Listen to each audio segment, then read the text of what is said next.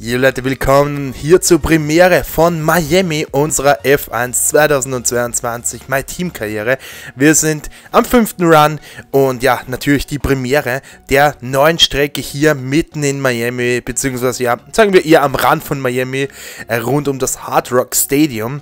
Hier haben wir die Strecke und die macht ordentlich Bock. Habt ihr es mir schon mal gesagt? Schreibt es gerne in die Kommentare. 19 Kurven, 5,4 äh, Kilometer und zwei DRS-Zonen mit einer mächtigen 1 1,2 Kilometer langen Geraden, die unserem sehr schwachen Motorrad ordentlich zusetzen werden. Abonniert den Channel gern kostenlos, lasst kein Däumchen rum da. Es geht hier in die erste Kurve direkt den Scheitel verpasst im Blitz-Qualifying. Schaut gerne auf Instagram vorbei. Ähm, gaming und auch gerne auf itz-tobi auf TikTok kommen wieder kleine Clips online und Links wie immer alle unten in der Bio. Los geht's. Siebter, neunter Platz. Ja, das ist jetzt, der erste Sektor liegt mir nicht so. Der zweite deswegen umso mehr. Zack, hier ein bisschen verloren, man sieht's. Da kannst du dich so ordentlich weit raustragen lassen. Die Kurve hat's auch echt in sich. Sala, die ist immerhin besser gelungen. Neunter Platz fixiert. Wäre jetzt ziemlich cool, wenn wir den neunten halten könnten. So, hier durchs Geschlängel des zweiten Sektors. Keine Ahnung, warum ich hier Plätze verloren habe. Ich war immer Full Speed dran. Und auch das DRS habe ich jetzt nicht verkackt beim Drücken. 14. Platz wäre das jetzt nur. Ähm, da hoffe ich natürlich, dass wir irgendwie noch Plätze gut machen können. So, jetzt geht's in den Mickey Mouse Sektor, der letzte Sektor, wo ich mir ein paar Crash erwarten werde. Und da komme ich ein bisschen über den Körper, schaffe den Shuttle nicht. Das war eine Verwarnung. Ich bin dann aber auch hier viel später, guckt unten, viel später aufs Gas gegangen. Weil ich mir gedacht habe, da habe ich mir einen unnötigen Vorteil verschafft dadurch. Und ich habe auch hier jetzt mir eigentlich einen negativen Vorteil oder ja, einen, einen, Rückschlag verschafft, weil ich genau vor oder genau nach der Kurve zu spät aufs Gas gegangen bin, habe ich hier direkt drei Plätze verloren, aber das war mir dann auch egal in dem Moment. Charles Leclerc wird hier von der Pole starten vermutlich und der letzten, die letzten zwei Kurven hier ist dann der DRS Detection Point und da kannst du schon DRS aktivieren. Das war eine Runde hier aus Miami sensationellen Qualifying ist es nun Zeit, einen Blick auf die Startaufstellung für das heutige Rennen zu werfen. Charles Leclerc startet aus der Pole Position und ein sehr glücklicher Carlos Sainz startet vom zweiten Platz. Im Rest der Startaufstellung haben wir Verstappen, Russell, der Wissenschaftler und Perez, Fernando Alonso, Ocon, Bottas und Mick Schumacher. Norris, Magnussen, Yuki Tsunoda und Gasly. Hamilton, hier gab es eine Gridstrafe. Ricardo, Sebastian Vettel und Guang Yu Zhou. Stroll, Albon, Liam Lawson und Nicolas Latifi. Also dann, es wird Zeit. Wir schalten runter zur Strecke für das heutige Rennen. Das war's schon hier. Wir sind mitten in der Einführungsrunde und jetzt wird's spannend, Leute. Jetzt wird es spannend. Oh mein Gott. Gott sei Dank ist kein Schaden on in der Einführungsrunde, weil das wäre ein bisschen böse ausgegangen. Nur grün. Ich dachte mir, weniger ist mehr. Jetzt gehen die fünf roten Lichter aus. Und das ist amerikanisches Feeling pur. Los geht's. Lights out hier in ähm, Miami, der unser erstes Street Circuit und wir haben natürlich noch Glück gehabt, weil einer eine Strafe bekommen hat. Ich glaube, es war Lewis Hamilton, der ist in der Startausstellung ein bisschen weiter hinten, äh, weiter nach hinten versetzt worden. Und wir konnten hier durch einen guten Start und ein bisschen, mich hat es zuerst ein bisschen rausgedrückt aus der ersten Kurve, aber dadurch konnte ich alle außen überholen, hatte dann irgendwie eine Berührung mit Verstappen, gucken wir uns nachher in der Replay an. Aber das war hier ordentlich. Wir sind auf dem zweiten Platz, während den natürlich jetzt das komplette Rennen gesehen nicht halten können. Das ist mir auch klar, spätestens nach dem Boxenstopp ähm, oder beziehungsweise die Runde nach dem Boxenstopp, da wo wir zum Aufwärmen noch viel mehr Zeit brauchen wie die anderen, ähm, ja, spätestens das ist vorbei. Habt ihr da Tipps, wie man die Reifen schneller aufwärmt? Ich hatte wirklich ewig, mindestens eine halbe, dreiviertel Runde kalte Reifen und das möchte ich echt ändern. Schreibt gerne unbedingt Tipps, Tricks in die Kommentare rein. Ich bin über alles sehr dankbar. Aber jetzt geht es hier in den Mickey Mouse Sektor. Da kommen wir sogar wieder. Oh mein Gott, da kommt das Heck. Aber da kommen wir sogar wieder an Charles Leclerc dran. Das ist schon schön. Schon, schon schön, muss ich sagen. Ähm, natürlich ist es auch wichtig, dass wir hoffentlich die ersten drei Runden dranbleiben können. Kann ich mir jetzt nicht vorstellen. Aber äh, die ersten drei Runden wären in dem Fall wichtig, dass wir dann ein bisschen DRS bekommen von dem guten Leclerc. Aber ich denke mal, wir werden spätestens nach der zweiten Runde abgeschüttelt sein. Der Exit war eigentlich okay hier, aber wir haben trotzdem eine Zehntel verloren hier auf ihn. Und er holt da die schnellste Rennrunde. Und wir sind jetzt schon aus dem DRS-Fenster draußen. Gucken wir uns Deswegen Schöneres an. Unseren Start, der war besser wie immer, wie von dem Mercedes. Äh, oder wie von dem einen Mercedes. Und da sind wir rausge rausgekommen. Und für diesen kleine Berührung gab es eine Verwarnung. Auch sehr interessant. Echt okay. Ich bin mir da jetzt nicht ganz sicher, ob das verwarnungswürdig ist, aber ja. Wir sind in der dritten Runde. DRS wäre jetzt on. Ja, für die Leute hinter mir ist es auf jeden Fall on.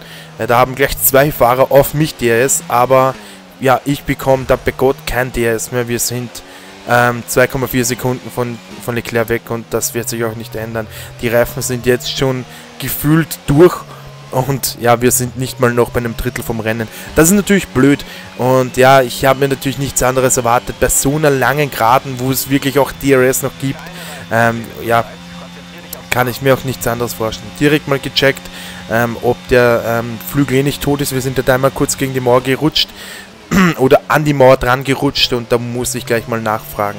Solla, wir werden jetzt in die, noch nicht in die Box abbiegen, aber ich ziehe jetzt das schon in Betracht, weil wir ordentlich an Pace verloren haben. Der Grip lässt nach, äh, unser Reifen, unser Auto frisst hier anscheinend mehr Reifen wie die anderen. Das ist nicht gut. Wir rutschen auch hier wieder in der ersten Kurve weg. Ähm, der Grip fehlt komplett, also generell. Äh, wir müssen da natürlich noch ein bisschen upgraden, aber auch generell. Ich habe so am Setup herumgewerkelt, aber es fehlt einfach der Grip. Der, der, der war auch im ganzen Wochenende, im Qualifying, äh, war er nicht da. Jetzt gehen wir in die Box rein, nachdem wir fast wieder von Verstappen äh, überholt worden sind. Äh, gehen wir einfach mal rein, gucken mal, was heute so geht. Hoffentlich macht die Box heute ihren Job richtig. Ähm, gucken wir mal. Und hier lila immerhin. Solla. Die Standzeit ist ja, wieder 4,4 Sekunden, weil die Scheißbox hier das zweite Mal in Folge verkackt. Ich weiß nicht genau, was sich die Box gedacht hat, aber man, ihr hattet nur einen Job einmal am Tag oder sagen wir mal zweimal an diesem Renntag. Kommt ein Fahrer rein und ihr schafft es nicht, diese Scheißreifen richtig drauf zu geben. Was ist die Antwort? Hinten links. Was denn sonst, Mann? Hinten links wird gefeuert. Aber so safe. Nein, ich meine, das, das ist so ärgerlich. Guck mal, wo, wo wir hinfallen. So weit nach hinten. Weil einfach nur die Box äh, ihren Job nicht macht. 2,2 äh, Sekunden haben wir da verloren. Sogar hinter Alonso. Ich glaube, der ist in Nevada gestartet. Auf dem 8., 9. Platz, 12., 10., keine Ahnung. Aber wir fallen so weit zurück, weil sich hier die Box einfach wieder mal einen Fehler erlaubt hat. Ich meine, wie gesagt, auch schon letztes Mal, Fehler sind menschlich, aber zweimal hintereinander, ach, das ist mühsam. Verstappen meilenweit. Das sind genau die 2,2 Sekunden, ja, ich meine, Dommer P, die wir hier auf Verstappen verloren haben. Das ist ärgerlich. Sehr, sehr, sehr ärgerlich. Wenn, wenn ich auch denke, ich meine, das waren nur 2,4 Sekunden. Also wir hätten da locker mit Verstappen fighten können. Die S-Fenster wäre drin gewesen. Und jetzt müssen wir uns hier mit Alonso rumschlagen, der natürlich auch ein guter Fahrer ist. Aber ja, wie gesagt, wir sind in der sechsten Runde. Mittlerweile war ähm, ja ein Großteil noch nicht der Spitze in der Box und wir rutschen hier. Äh, und das war mir auch schon klar mit dem Rutschen, weil ich da immer den Körper zu fett drüber gefahren bin, war mir auch klar, dass Alonso hier attackieren wird. Und das wird er auf jeden Fall mit DRS, kann eigentlich sogar ein Williams uns angreifen oder ja, ich meine, sagt, wir werden hier einmal lupfen. Ich weiß natürlich, es ist eine Linkskurve und links werden wir... Uh, da verbremst sich Alonso und ich verbremse mich auch hier. Aber Alonso, sein Reifen geht hier mit, ähm, ja, mit einem Rauch gucken wir uns das Ganze hier mal an. Ja, und das finde ich auch cool. Man sieht hier ein paar äh, Szenen. Wir haben uns hier dran gerobbt und dann hier schlussendlich dann das finale Überholmanöver, wo Alonso ordentlich draufgehalten hat, muss man sagen. Wir sind natürlich auch wie zu erwarten hinter Checo Perez zurückgefallen. Der aber Gott sei Dank hier, äh, wir sind zwei Sekunden oder so hinter Perez zurückgefallen und der wurde hier ein bisschen von Latifi aufgehalten. Das ist natürlich, er probiert sich hier wie ein Psychopath, einmal links, einmal rechts, man, man kann hier einfach nicht überholen, Bro. Aber er probiert's. Das ist natürlich cool für uns, weil jeder Versuch kostet unnormal viel Zeit. Und so haben wir es auch ins DRS-Fenster geschafft, aber auch Alonso ist hinter uns dran. Das dürfen wir nicht vergessen, das sind nur vier Zehntel. Und jetzt im Windschatten könnten wir gleich einen Doppelschlag machen. Äh, Im Windschatten hier dran rauben. Dran, dran, dran, dran, dran. Einmal rechts Andor. Okay, Andor brauchen wir nicht. Zack, er sticht hier raus und wir stechen hier rein. Ganz, ganz spät gebremst. Aber man kann hier nicht zurückstechen. Wir haben hier zwei Leute auf einmal überholt. Und leider ist Perez äh, auch an Latifi vorbeigegangen. Sonst wäre das natürlich der perfekte äh, Coup gewesen. Vor uns sitzt Alexander Albon, der wird sowieso in die Box abbiegen. Und dann sind wir auf dem Blatt, äh, theoretisch dritter Platz. Und das sind wir nicht mehr, weil jetzt, ähm, nein, wir waren auf dem Blatt anscheinend vierter Platz. So, aber wir müssen uns hier gegen den, ah, Tsunoda, natürlich. Auf dem Blatt waren wir dritter Platz, weil Yuki noch nicht gestoppt hat. Und natürlich, doch, Yuki hat nicht gestoppt. Checo Perez hier versucht natürlich alles, der wittert das Podium. Wir als Newcomer-Team haben natürlich die Pace nicht, um den äh, das ganze Rennen hinten zu halten. Wir haben zwar Glück, ihn so überholen zu können, aber es wird gleich zum Dreierkampf wieder. Auch Carlos Sainz Jr. wird hinter uns ähm, ja bald, ja, natürlich, DRS kann er jetzt schon drücken auf uns und auch auf Perez. Ähm, es wird hardcore. Es wird so hardcore, die letzten vier Runden dieses äh, Ergebnis ins, ins Ziel zu fahren. Oder verlieren wir beide Plätze noch? Ich bin sehr gespannt. Ich hoffe natürlich, dass wir das ins Ziel retten können. Ich denke natürlich, dass wir einen Platz abgeben werden müssen. Wir werden kämpfen. Fight like a Lion, Fighting like a Lion, ähm, so wie Alonso das Ocon angeschafft hat.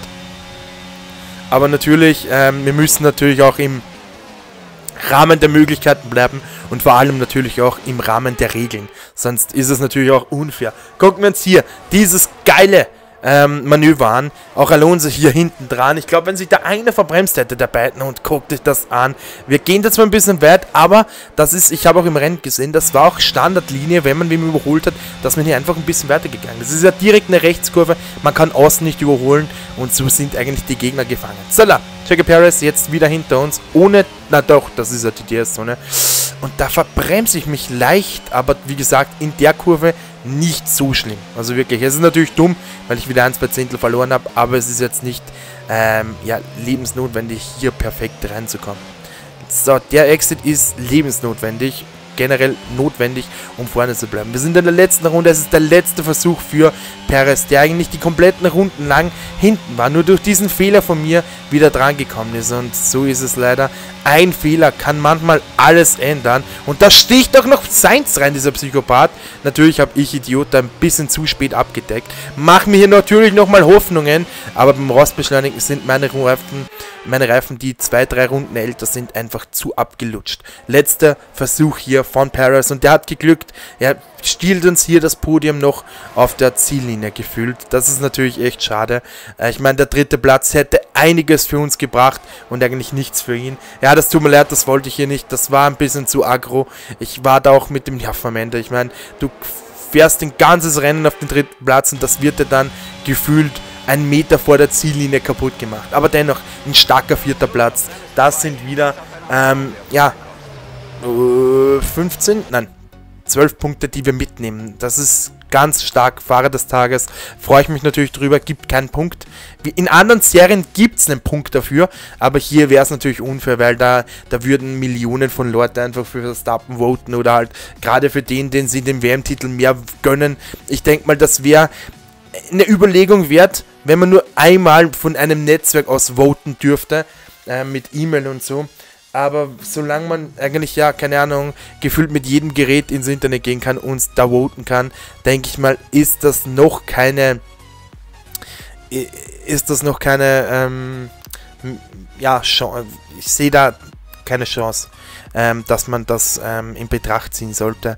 Aber wie gesagt, man, man, muss sich da was einfallen lassen. Es gibt den Fanboost zum Beispiel in der Formel E und ja, Leclerc wieder ganz oben. Der wird Weltmeister, wenn der so weitermacht. Der hat bis jetzt jedes Rennen gewonnen und es ist auch hier das fünfte Rennen in Folge, in dem es kein Safety Car gab. Leute, ich habe noch nie ein Safety Car gefahren. Ich bin noch nie hinter einem Safety Car gefahren. Weder in der Karriere, ich fahre eine, eine private Karriere mit meinem Bruder, online eine Karriere, noch nie. Weder da noch da noch da gab es ein Safety Car. Wir haben wieder das Safety Car Mystery. Wie auch schon im letzten Jahr gab es auch dieses Mal nie eine, ein Safety Car. Leider. Ich hoffe natürlich, dass das wieder mal gepatcht wird oder dass das wieder mal verbessert wird, dass man ähm, auch Safety Car reinbringt. Aber ja, das ist ein solider vierter Platz und ja, das ist auch wichtig für die Weltmeisterschaft. Da können wir weiter vorne in den ja, vorderen Top 10 mitkämpfen. Wir holen noch ein wenig hier auf Liam Lawson auf. Und ich glaube, bei 10% gibt es auch den ersten, äh, den, den zweiten Sponsor. Und ich Idiot habe wieder mal eine Verwarnung bekommen. Das heißt, es gibt wieder keinen Bonus drauf. Das ist natürlich sehr dumm gelaufen. Und 10k Schaden für einen Flügelschaden, den ich nicht mal gemerkt habe, ist auch wieder drin.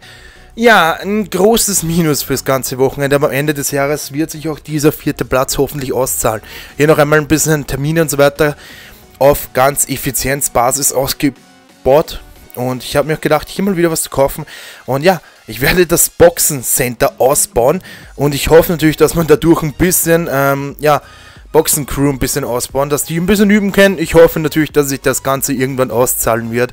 Ähm, ja, wir sollten auch unbedingt an unseren, ähm, ja, und unseren Grip arbeiten. Aber das werden wir alles in den nächsten Rennen sehen. Nächstes Mal ist Spanien dran. Schaut gerne auf TikTok auf it's-tobi und auch gerne auf Instagram vorbei. Links mal unten in der Bio. Vielen, vielen Dank fürs Zugucken und abonniert den Channel gern kostenlos. Lasst gerne ein Däumchen rum da. Wir sehen uns hoffentlich morgen oder später. Pirelli Hotlab oder auf TikTok und später. Bis dahin und ciao.